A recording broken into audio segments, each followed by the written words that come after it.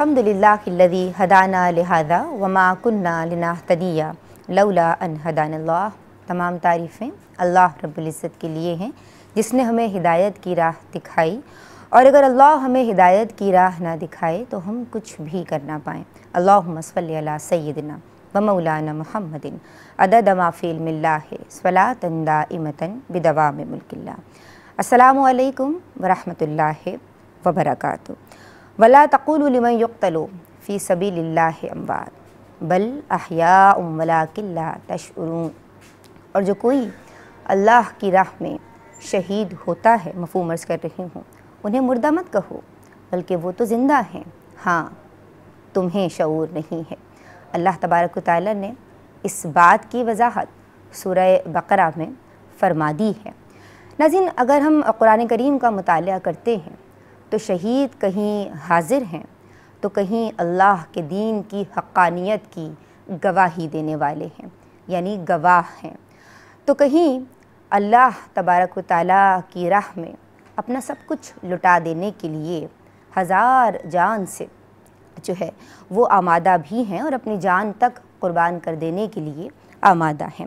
محرم الحرام ظلم و ستم اور کرب و علم کی وہ داستان ہے کہ جو امام علی مقام نے اپنے خون سے رقم کی ہے۔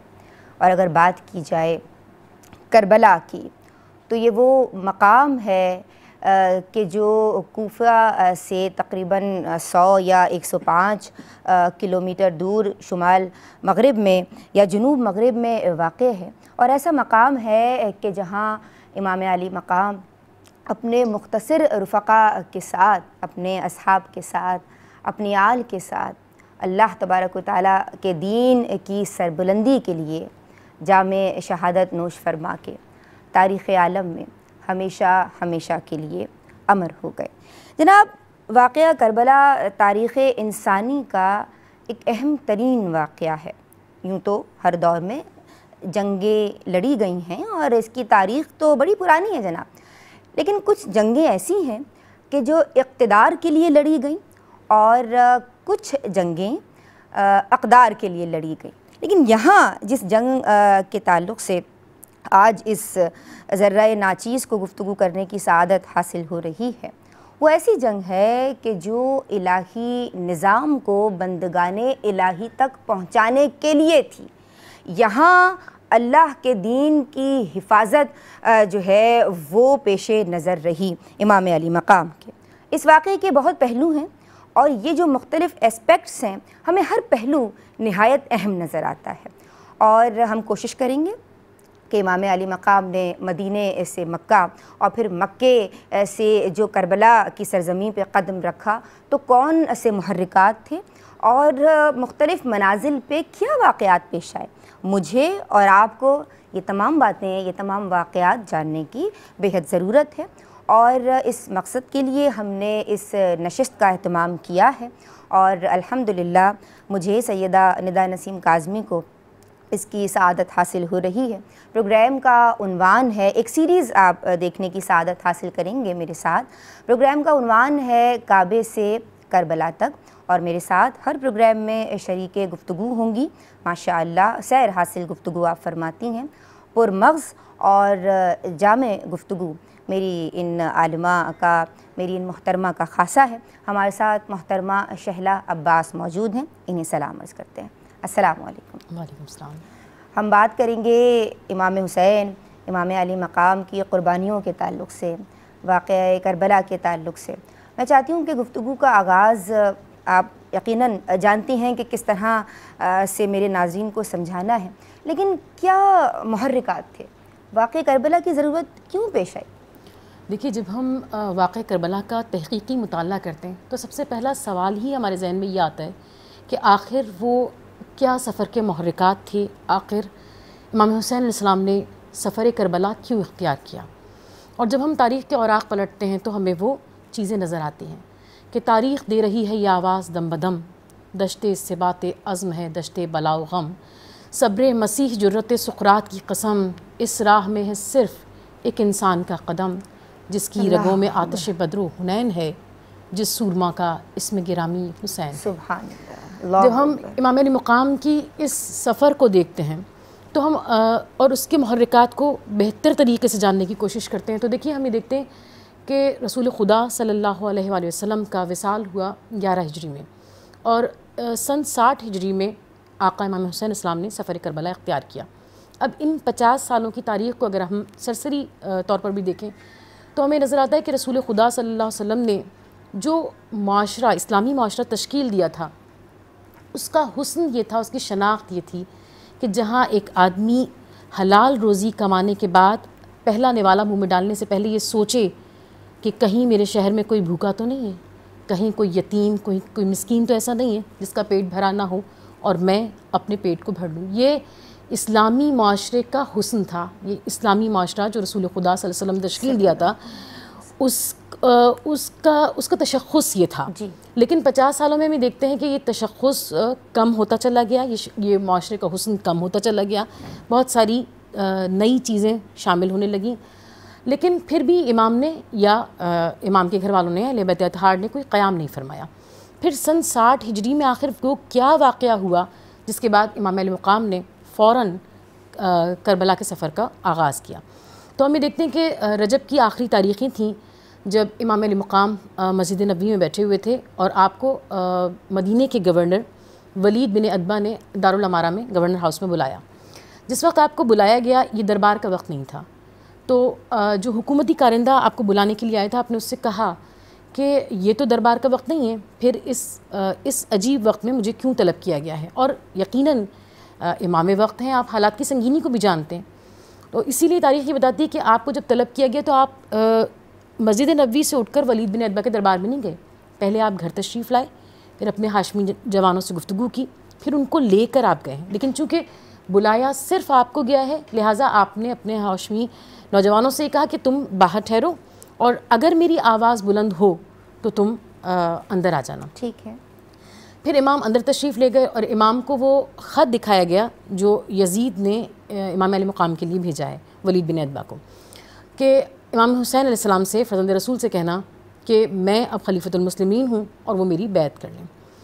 اور اس خط کے ساتھ ہی ایک چھوٹا رقعہ تھا جس میں لکھا تھا کہ اگر حسین بیعت نہ کریں تو انہیں قتل کر دینا۔ امام علی مقام نے یہ خط دیکھا اور اس خط کے جواب میں آپ نے ایک خطبہ بلیغ ارشاد فرمایا۔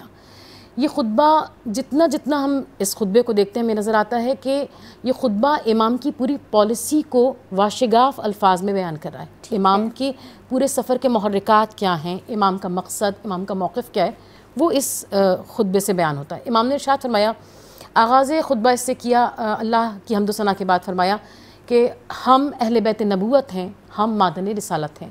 ہمارے گھروں پر فرشتوں کی آمد و رفت رہا کرتی ہے۔ ہمارے ہی گھر سے خدا نے اسلام کا آغاز کیا اور آخر تک ہمارا گھرانہ اسلام پر رہے گا۔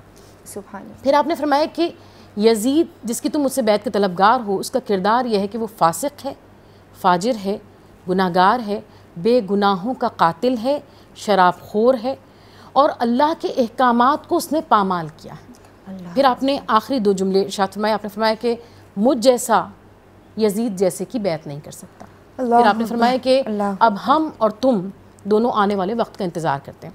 اگر ہم تھوڑا سا بھی اس خطبے پر غور کرتے ہیں تو جو پہلی چیز سمجھ میں آتی ہے پہلی پہلا نقطہ سمجھ میں آتا ہے کہ بیعت تو آپ سے مانگی گئی ہے نا۔ لیکن آپ میں نہیں کہتے آپ ہم کا سیغہ استعمال کرتے ہیں۔ آپ صرف اپنا نہیں اپنے پورے خاندان کا تعارف پیش کر رہے ہیں۔ ہم اہل بیت نبوت ہیں ہم مادن رسالت ہیں۔ پھر یزید کے کردار کو بیان کر رہے ہیں اور ہم یہ دیکھتے ہیں کہ مسئلہ صرف یہ نہیں تھا کہ یزید جھوٹ بولتا ہے یزید شراب پیتا ہے مسئلہ منیت رسول کا تھا۔ مسئلہ یہ تھا کہ یزید جھوٹ بولتا ہے اور چاہتا ہے کہ نعوذ باللہ یہی کہا جائے کہ یہی جھوٹ یہی دین حق ہے۔ یزید شراب پیتا ہے اور یہ کہا جائے کہ یہی دین ہے۔ امام علی مقام نے اپنا انکار بیعت سریحی انکار بیعت کیا۔ کہ حکم حاکم ہے کہ وہ دین کی باطل توجی زد ہے باطل کو کہ وہ بن کے رہے حق کی شبی۔ گونگ سب مفتی و قاضی ہیں تو لبستہ فقی چپ رہوں میں بھی تو پھر کون کرے گا تنبیہ؟ مصلحت کیش اگر حق کا ولی ہو جائے پھر تو جو چاہے حسین ابن علی ہو جائے۔ سبحان اللہ تین شعبان کو امام مکے پہنچتے ہیں وہاں قیام فرماتے ہیں۔ پھر تین شعبان سے آٹھ ذی الحج کا جو سفر ہے کیا واقعات کیا اہم ترین واقعات پیش آئے؟ دیکھیے جب امام علی مقام نے اپنے گھر سے سفر کا ارادہ کیا ہے۔ تو تاریخ نے لکھا کہ دو راتیں امام نے گزاری ہیں اور ایک دن گزارا ہے۔ بس اس کے بعد امام نے اپنے سفر کی تیاری کمپلیٹ کی اور اور امام اٹھائیس رجب کی صبح مدینہ منورہ سے نکل گئے۔ اچھا۔ اچھا جب آپ نے جو دو راتیں گزاری ہیں وہ دو راتیں آپ نے رسول خدا صلی اللہ علیہ وسلم کی قبر پاک پر گزاری ہیں۔ اور وہاں آپ نے ارشاد فرمایا کہ اگر دین محمدی کی بقا اس کے بغیر ممکن نہیں تو اے تلواروں آؤ میرے جسم کے ٹکڑے ٹکڑے کر دو۔ اللہ۔ کہ طاقت شر کا وہ اسرار وہ انکار کی شان وہ مدینے سے سفر اور وہ سفر کا سامان۔ تربت جد پہ نواسے کا سریحی اعلان اب اگر زندگی حق کا یہی ہے عنوان رنگ تصویر شہادت سے لہو میں بھر دو۔ آؤ تلواروں میرے جسم کے ٹکڑے کر دو۔ آپ اٹھائیس رجب کو گھر سے نکلے ہیں اور تین شعبان کو پہنچے ہیں۔ یہاں بہت ہی اہم ایک بات آپ کی نظر سماعت کروں۔ کہ جب امام علی مقام گھر سے نکلے ہیں تو آپ سورہ قصص کی اکیسویں آیت تلاوت فرما رہے تھے۔ جس کا ترجمہ یہ ہے کہ تو موسا شہر سے باہر نکلے دائیں بائیں دیکھتے ہوئے اور خوفزدہ اور کہا کہ پروردگار مجھے ظالم قوم سے محفوظ رکھنا۔ صحیح۔ اور جب امام علی مقام پانچ دن کا سفر ہے یہ مدینے سے مکے تک کا جب آپ مکہ معظمہ میں پہنچے ہیں تو آپ سورہ قصص کی بائیسویں آیت باواز بلند تلاوت کرتے ہیں۔ اور یقیناً امام علی مقام پورے قرآن پاک میں سے جو دو آیتیں منتخب کرتے ہیں، گھر سے چلتے وقت باواز بلند اور وہاں پہنچ کر، یہ سورہ قصص کی اکیسویں اور بائیسویں آیت۔ اور بائیسویں آیت میں ارشاد پروردگار دن ہوتا ہے کہ جب موسیٰ نے مدین کا رخ کیا تو کہا کہ قریب میرا پروردگار مجھے خیر اور صلاح کے راستے کی ہدایت کرے گا۔ علماء لکھتے ہیں کہ یہاں یہ دو ہی آیات کو منتخب کرنے کا مطلب یہ ہے کہ امام اس طرف توجہ دلا رہے ہیں کہ جیسے حضرت موسیٰ اپنے آبائی شہر سے نکلے اور ایک انجان شہر میں مقیم ہوئے۔ تو جیسے حضرت موسیٰ کا آبائی شہر سے نکلنا اور انجان شہر میں مقیم ہونا یہ بغیر مقصد کے نہیں تھا۔ ایسے ہی میرا اپنے جد اپنے نانا کے شہر مدینت النبوی سے نکلنا اور مکہ معظمہ میں آنا۔ یہ یہ بے مقصد نہیں ہے۔ اور یہ ایک ذمہ داری ہے جو پروردگار دولم نے مجھے سونپی ہے۔ اور میں اس ذمہ داری کو پورا انجام اچھا خطوط کے تعلق سے کلام ہو جائے کوفے والوں نے امام علی مقام کو خطوط بھیجے۔ کیا کسی اور جگہ سے بھی آپ کو خطوط موصول ہوئے؟ کیا انہوں نے بھی حمایت کا اعلان کیا تھا؟ پھر کیوں انہوں نے پیچھے کیوں ہٹ گئے؟ کیا ہوا تھا؟ دراصل حالات جب ہم واقع کربلا کا تحقیقی مطالعہ کرتے ہیں تو ہمیں نظر آتا ہے کہ امام علی مقام نے یعنی لوگ عام طور پر یہ غلط فہمی یہ سمجھتے ہیں کہ صرف کوفے والوں نے بلایا تھا اس لیے امام گئے نہیں امام تو بیت کا انکار جو کر چکے ہیں اس کے بعد آپ فوراً مکے میں مقیم ہوئے اور مکہ کی تاریخی اہمیت جو ہے وہ یہ ہے کہ یہ صرف تاریخی لحاظ سے اہمیت کا حامل نہیں ہے بلکہ آپ دیکھیں کہ مکہ معظمہ معاشرتی لحاظ سے معاشی لحاظ سے اقتصادی لحاظ سے تجارتی لحاظ سے اور ذرائع ابلاغ یعنی کمیونیکیشن کے لحاظ سے جو ہے وہ مرکز ہے۔ یہاں امام کا مقیم ہونا اس کا مطلب یہ ہے کہ جو بھی تجارتی قافلہ یہاں سے گزرے گا جو بھی عمرے کی نیت سے یہاں پر آئے گا وہ خانہ خدا کا طواف کرنے کے بعد فرزند رسول سے ملاقات کے لیے ضرور آئے گا۔ اچھا۔ اور یہاں امام علی مقام نے اپنی بیعت کے انکار کو نشر کیا ہے۔ یہاں آپ نے لوگوں کو بتایا ہے تاکہ امت مسلمہ یہ سوچنے پر مجبور ہو جائے کہ آخر یزید کتنا بد کردار ہے کہ امام علی مقام نے اس کے اس کے انکار بیعت کیا ہے۔ اور امام قیام کے لیے آغاز کر رہے ہیں۔ پھر امام ہم دیکھتے ہیں کہ کوفے سے خطوط آئے ہیں اور بصرہ سے خطوط آئے ہیں۔ ہونا تو یہ چاہیے تھا کہ تمام امت مسلمہ میں جب یہ بات پھیلتی تو تمام امت مسلمہ کی طرف سے خطوط آتے۔ لیکن ہمیں دو نمایاں جگہیں نظر آتی ہیں ایک کوفہ اور ایک بصرہ۔ اور امام علیہ مقام کے ساتھ جو ہم شہداء کی تعداد دیکھتے ہیں اس میں بھی نظر آتا ہے کہ آپ کے گھر والے بنی ہاشم اور ان کے بعد اگر کوئی ہے تو چالیس لوگ کوفے سے ہیں اور نو لوگ بصرہ سے ہیں۔ اچھا مجھے یہ بتائیے کہ جو مخالفت ہمیں عراق کی جانب سے عراق جانے کی جانب سے نظر آ رہی ہے لوگوں نے روکا امام علی مقام کو تو اس کی کیا تفصیل ہے؟ دیکھیے ہمیں نظر آتا ہے کہ جب امام علی مقام نے جب گھر سے چلے ہیں اور آپ نے یہ بتایا ہے کہ میں عراق کی طرف عازم سفر ہوں یعنی آپ بیچ میں یہاں ٹھہرے ہیں مگر آپ کا ارادہ عراق ہی جانے کا ہے۔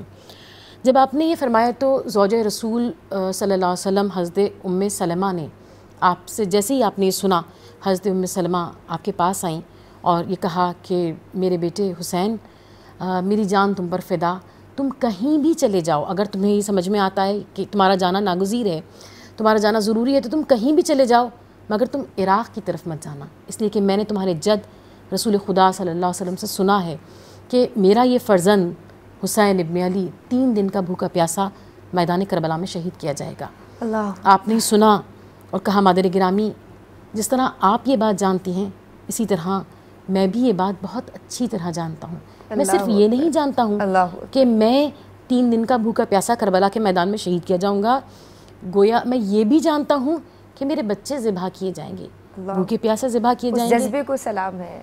اور پھر سید الشہداء نے شاط میں کہ بس یہاں بھی ظلم کا خاتمہ نہیں ہوگا۔ ہاں۔ میں یہ بھی جانتا ہوں کہ یہ جو ہستیاں جو میری بہنیں جو رسول خدا کے خاندان کی بہو بیٹیاں ہیں، جو وارثان آیا تطہیر ہیں، انہیں ان کی چادروں کو لوٹا جائے گا، انہیں تشہیر کرایا جائے گا۔ لیکن مادر گرامی، اس کے باوجود بھی میرا جانا ضروری ہے۔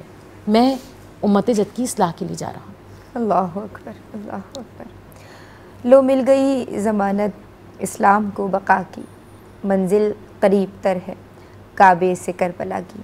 آج ہم نے کوشش کی کہ سفر کربلا کے کیا محرکات تھے۔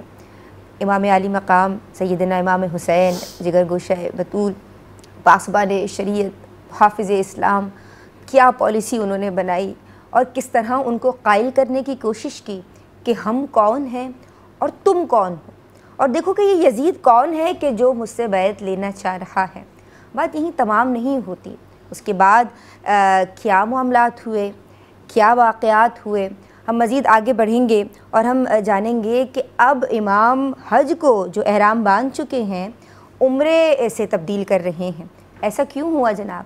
آپ آپ بھی جانیے گا، میں بھی جانوں گی۔ انشاءاللہ اگلے ایپیسوڈ میں، تب تک کے لیے، فی امان اللہ۔ السلام علیکم ورحمۃ اللہ۔